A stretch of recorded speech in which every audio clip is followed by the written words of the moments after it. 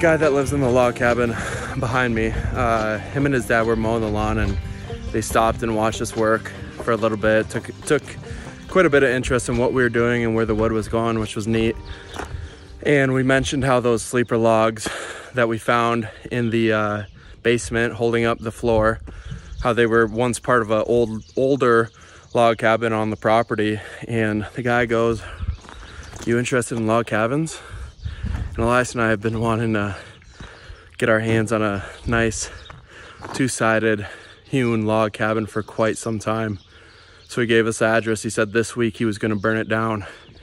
So we're going to go check it out and, and see if it's something worth saving.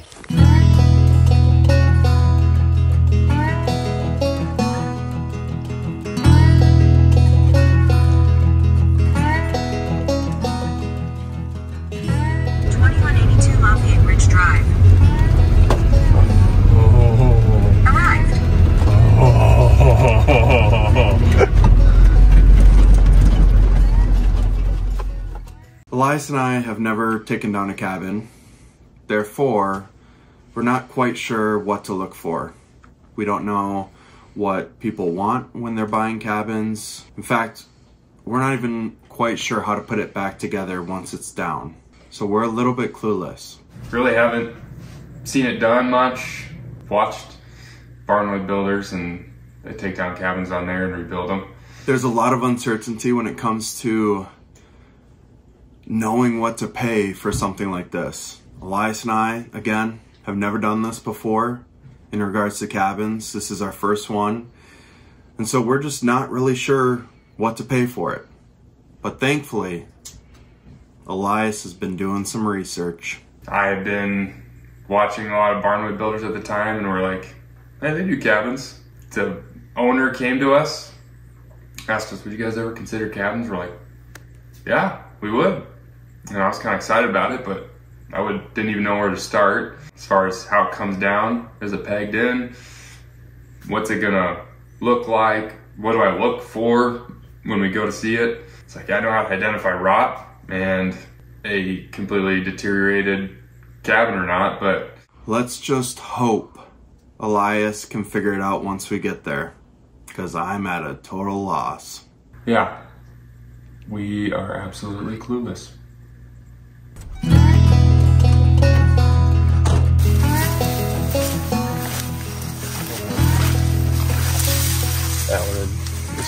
Rotted out. Pretty decent bug damage. Look at this sucker. 15 inches of face. Wow. That's not good. Bathroom products? Toilets in good shape. Oh yeah. Ooh. That's like that's like 50 bucks. Turned the demo job for him already. From what I've seen, we want it. Really? I think so. Really? Who's going down that hole? Bye, Ezra. Bye. It's nice knowing you. Oh my goodness. Good logs down here. One sided hewn. Dude, these can beats. I wonder if these are still good. Bro, how much you paying me? Cow tongues. Time to go inside. See what it's made of from the inside. Only tell so much from the outside.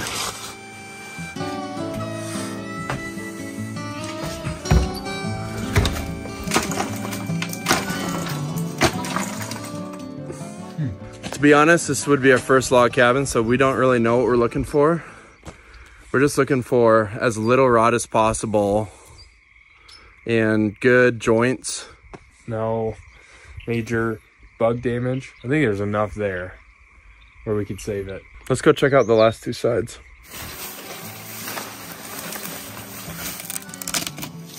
Bottom one looks a little too far gone, like it was pretty exposed. But that, Wow. that's pretty. All right, one more side to check out. This is the best side yet. 13, 12, 12, 10. Do a whip to show me how excited you are. Really? That excited, huh? I just, yeah, I mean, it's cool. Tell them why you're so excited. Because I haven't done a cabin yet. Why do you want to do a cabin? Because I've been watching Barnwood Builders. There it is. And that's fire. Mark Bowe fanboy. Oh, I'm more of a Johnny Jett fanboy. hey, I can respect that. I wonder how many people drive by this structure, look at it, and think, man, when's that ugly looking house gonna just get tore down or fall apart? It is so neat to just have the opportunity to see these buildings and to kind of have some understanding of what kind of work and effort went into putting them up and then being able to reclaim these. So we're gonna go back in the car, talk with Elias and talk about what kind of offer we're gonna make for the for the structure. And then we'll talk to the log cabin owner and, and see if he accepts it. We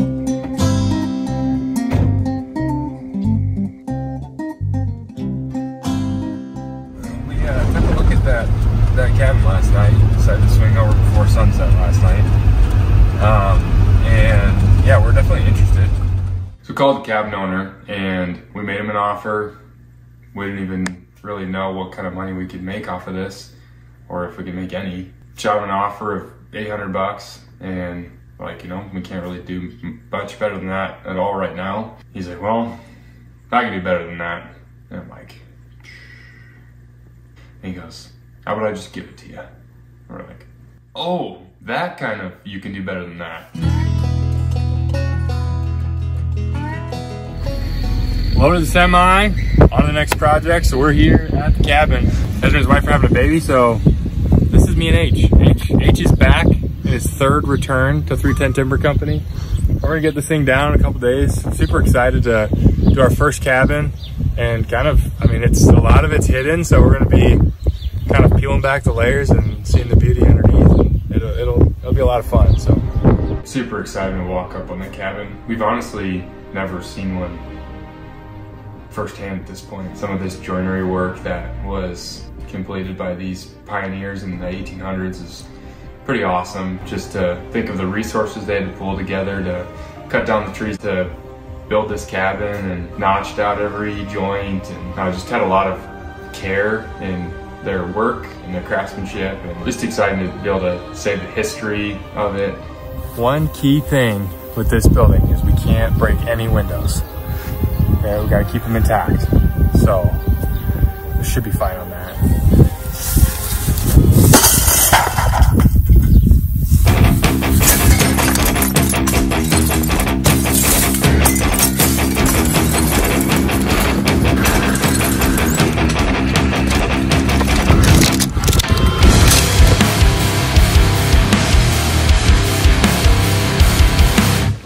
Find some treasures in these barns. What'd you find today, H? Found some trash. but then also I found a kitten. Oh, hello, kitty. Hi, kitty.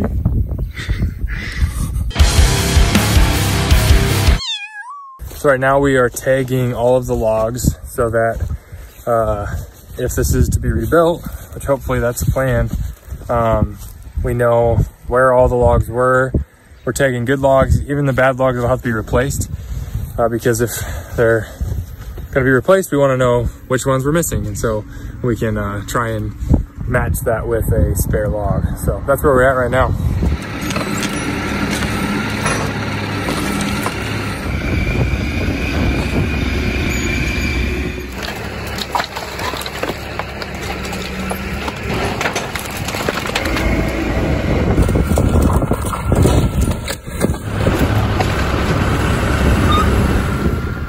Got the whole second floor walls off, just with just with the telehandle. A little, little flick of the wrist is all it took, and uh, coming apart nicely. There's a decent amount of rot, um, and some of the beams will have to be replaced, which is a bummer. But now our next problem is just figuring out what we're gonna do with all the junk on the top floor.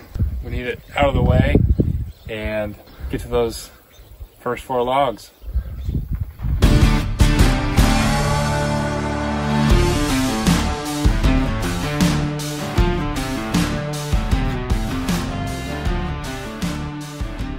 H and I worked that next day, got the whole main floor of the logs out of there, the the rest of the debris, pushed it into the foundation uh, to be burned, and we got it on a semi on its way back to Cedar Falls where we're planning on building it. Elias and I, we got the logs back to our yard, our lot in Cedar Falls, Iowa. The next step is power washing them and then taking a couple steps back and taking a good, long, hard look at them and just praying and trying to figure out some way that we can do justice to these pioneers who built this original structure and figure out a way to rebuild it.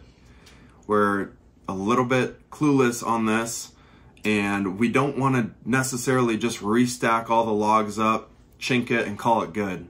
We want this to be something that can last for generations. We want to do it right.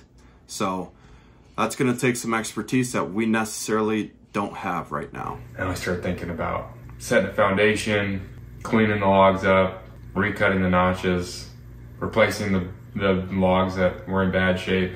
Got overwhelming pretty quick.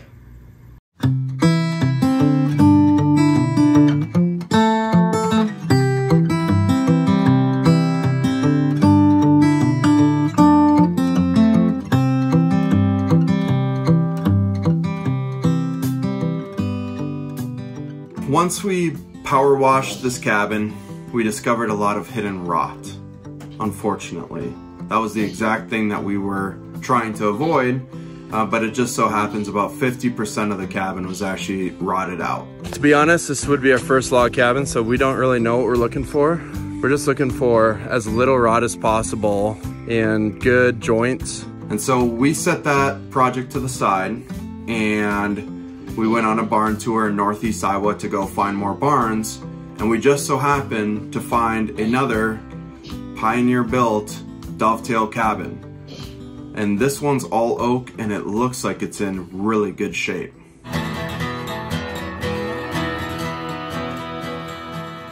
It's just crazy to think that hiding behind these 1500 layers of wallpaper are some beautiful hand-hewn beams. So it's just mind boggling to think that people wanted to cover this up at one time. Newspaper from 1938 with a Folgers coffee ad. A mountain of flavor in every spoonful. That's cool.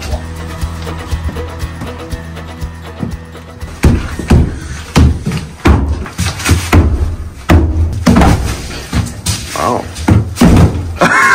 Pretty sturdy. Sounds good. Sounds good.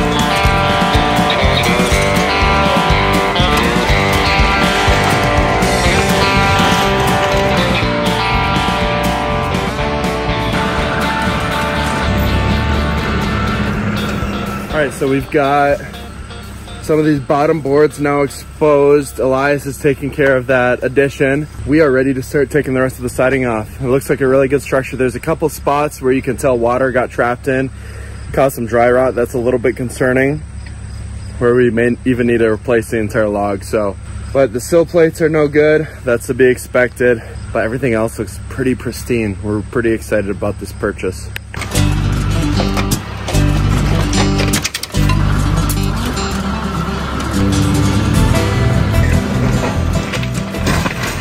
Back after this was originally built, its original purposes, the styles changed and people didn't like the log homes anymore. So they'd cover it up to make it look more like a modern at their time stick frame construction. And so they'd put these furring strips to make it, you know, plumb on the sides and then they'd put the siding on top of that rather than just having exposed logs with the chinking. So we got to peel that away, expose the history and the rustic desired wood underneath and we're pretty happy with it, happy with it as it's coming apart. And um, few rotted spots, but I think it's going to be a really nice cabin. And excited to see um, how it comes apart and to see it actually rebuilt, which is super exciting to know that very soon this is going to be reconstructed somewhere else.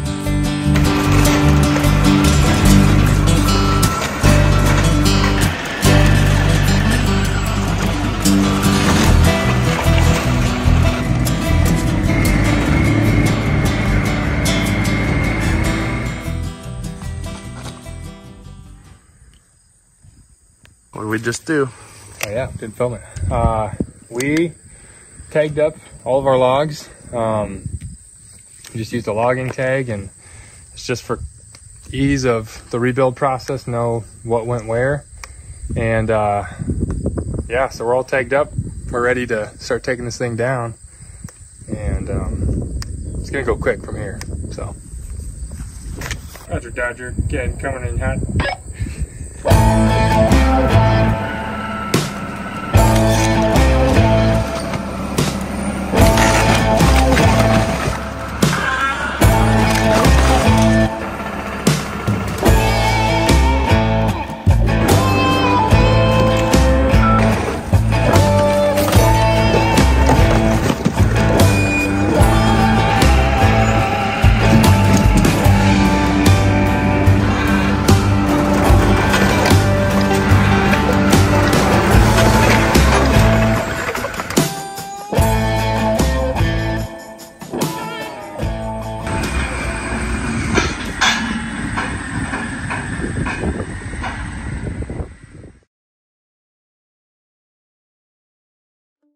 Spoiler alert, we found our guy.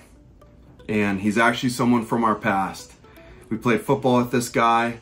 He went to Wyoming to ranch for a little bit. He went to Canada to learn how to build these log cabins uh, from a true expert craftsman. And his name is Seth. And Seth has agreed to partner with us on this first project to pass on the knowledge and expertise we need in order to breathe new life into these pioneer built structures. Think about who's going to teach you how to build a cabin from scratch with your hands. You don't think about some guy in skinny jeans and uh, quarter zip has to quick grab his vanilla latte from Starbucks before he starts his day of work in his parka. Think about a mountain man. Some guy who just looks like he rolled out of his own cabin bed, fried some bacon and eggs, took his axe out, started felling some trees. And if that isn't the description of Seth Snicker, I don't know what is.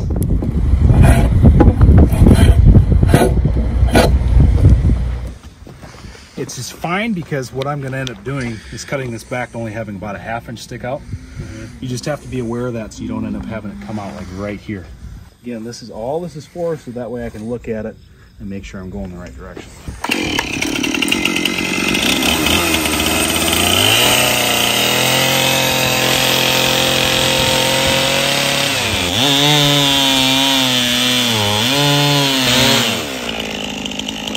All right, notch cutting race.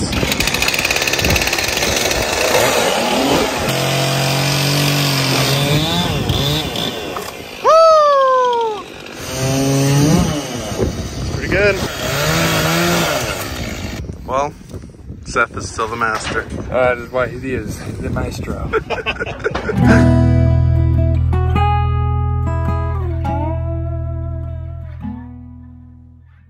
You need the right tools, you need the right people, and you need to learn how to do it the right way.